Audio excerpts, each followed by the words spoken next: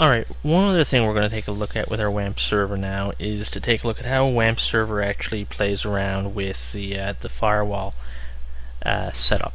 So that is how can we actually see our WAMP server from other computers. So our WAMP server is going, let's just take a quick look. It says to put online, so right now it's in um, offline mode.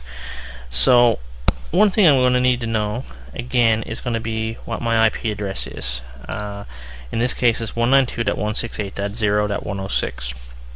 So if I want to take a look at my server setup, um, it obviously works with localhost.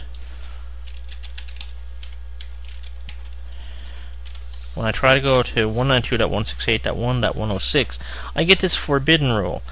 Now, that means I can get to the server, but the server's saying that I'm not allowed to have access. So uh, I'm just going to put things online for a second.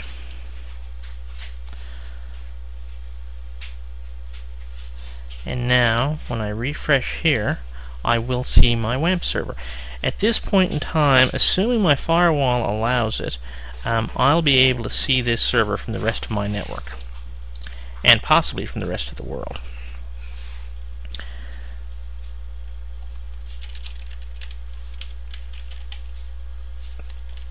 When I go to 192.168.1.106,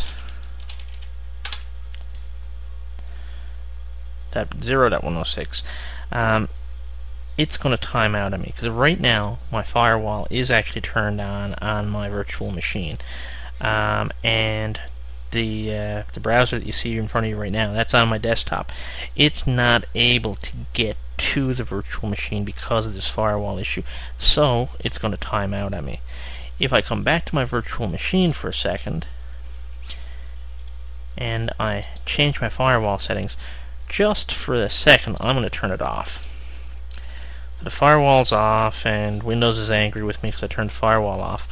But if I refresh my page over here now, you'll see that I do indeed have access to the exact same uh, web server as I do over here. See, my folder, test folder, my folder, test folder. Everything else is all set up the same as well.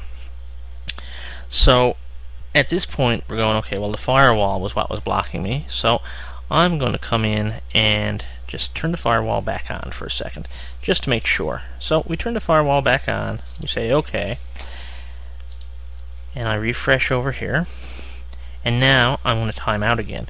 And again, the reason I'm timing out is the firewall has me blocked. So what I need to do is I need to go into my firewall, let's wait till it actually does time out, um, and I need to add a rule in my firewall to allow the web page to come through. In this particular case, the web page is running on port 80. So what I'm going to do is I'm going to come oops, here and I'm going to change, I'm going to go to my firewall exceptions. I'm going to add a port. I'm going to name the port um, uh, Apache HTTPD. The port's going to be a TCP port and it's going to be port 80.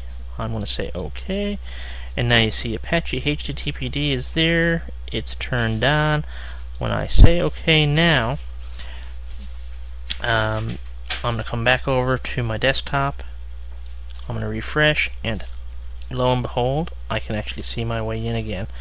So at this point in time I come back to my browser or my virtual machine. Oopsie. I don't know. Let the machine catch up with me. Come to my virtual machine, I'm going to go to my local host, and now I'm going to say, well, you know what, I'm going to put this offline again. So my server restarts, and now when I'm over on my desktop, instead of my virtual machine and I reload, I get the same forbidden error that I had in the past. So the re there, there's two parts to the firewall inside of this.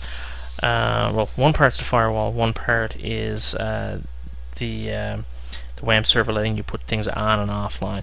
As we move further along, I, I will do some examples on how you can kind of set this up on a a per section basis. But uh, for right now, that that's kind of all we really need to take a uh, take a look at.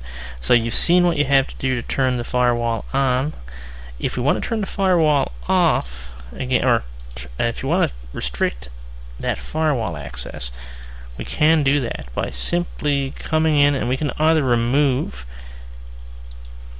the uh, HTTPD uh, entry for Apache or because we, we will want to turn it on again soon we can just hit the checkbox here and say OK now when I go back and try to reload I'm not going to get a forbidden error anymore. Now I'm actually going to get a um, an error that says that I can't reach the server.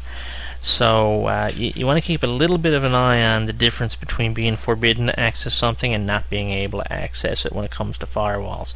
And that's true whether it's in uh, Windows or in Linux. So I'll come back over to the virtual machine one more time. I will re-enable that port on the firewall. And I go back to my forbidden error. Because I do want to be able to access this from away from there I'm going to put my thing back online. And when I reload everything should be working fine.